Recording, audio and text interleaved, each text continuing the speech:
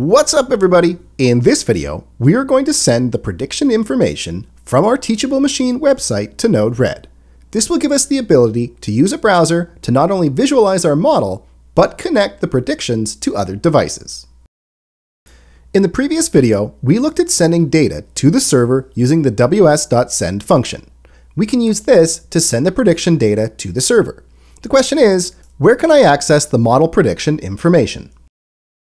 If you refer to the Glitch website and look at the README file, you will notice that there's a lot of documentation about how to make edits to the model. Under the Change the Callback heading, you will see there is a Setup Model function that works with the prediction data. If we want to work with that data, we can add our own code to the function. In our Node-RED flow, double-click on the JavaScript template and scroll down to the bottom of the JavaScript. You will see the Setup Model function where we can add our own code. Inside the setup model function, below the update bar graph function, add ws.send open bracket data close bracket semicolon. The data variable is our prediction model. Click Done. Click Deploy and open the website. You will see everything loads normally. However, our debug window in Node-RED is moving really fast. So why is that? If you look at our prediction model, you will notice that the bar graph is constantly changing. Each time the graph updates, we are sending data between our browser and server. Doing this creates a lot of extra work for our server, and we aren't passing relevant data with every request. Let's update our website and add a button. When we click on the button, it will send the prediction values to the server. Before adding the button, let's remove the code that is sending the data every time the model updates.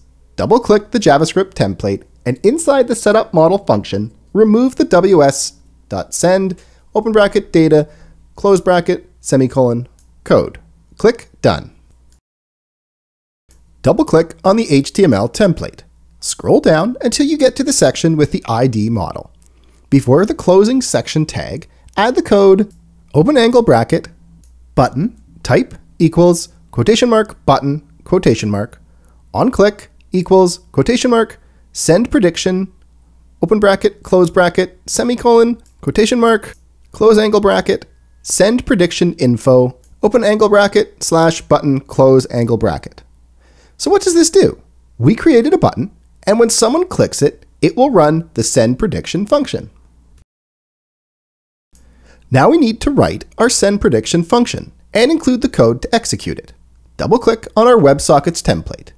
Add function, send prediction, open bracket, close bracket, open curly brace, close curly brace, you will notice that writing functions in JavaScript follows a similar format to writing them in C++, the programming language for the Arduino. Inside the curly braces, add ws.send, open bracket, data, close bracket, semicolon. Click Done. Click Deploy and open the site in a browser. Let the camera load and try clicking the button. Have a look at the debug window in Node-RED. Nothing is showing up. Now try using Inspect Element and look at the console there is an error. It says data is not defined. Why is this happening? Let's look at our setup model function in the JavaScript. Double-click the JavaScript template and scroll down to the setup model function. This has to do with the concept of the scope of a variable. The variable data in the setup model function is local. It cannot be accessed outside of this function. Click Done. Double-click on the WebSockets template we will need to create a global variable to track the prediction data for our program. We will define it so all functions can access it, and it will hold the value of our latest prediction. At the start of the code, add let prediction data semicolon. This creates a variable titled prediction data that we can access globally. Update the ws.send inside our send prediction function to send the prediction data variable. Click Done double-click the JavaScript template and scroll down to the setup model function.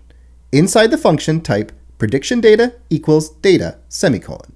This will set our global prediction data variable to the value of the local data variable inside the setup model function.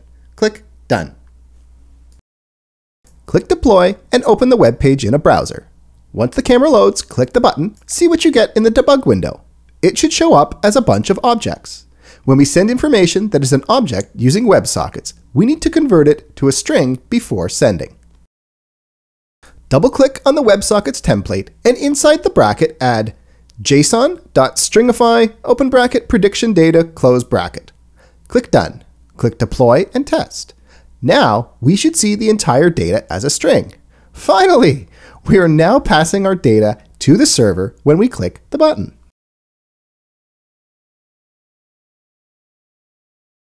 Since we have a string, we want to convert it to a JSON object so we can work with the data. Drag a JSON parser to the workspace and connect it to the WebSocket in Node. Drag a debug node to the workspace and connect it to the JSON node. Click Deploy and test out the website. You should see that we now have an object with our prediction data. Let's do one more thing. Let's organize our data so the highest probability is our first object in the array. We can do this by using a sort sequence. Drag a sort node onto the workspace and connect it to the output of the JSON node. Double-click the sort node. We want to organize our results based on the probability of each. To do this, click on the down arrow in the key and select expression. Type probability. Ensure the order is descending. Click Done. Drag a debug node onto the workspace and connect it to the sort node. Click Deploy and open the web page in a browser. When you click the button, you will see three debug outputs. The first is the raw string, the second is the string converted to a JSON object, and the third is the sorted JSON object with the highest probability as the first object.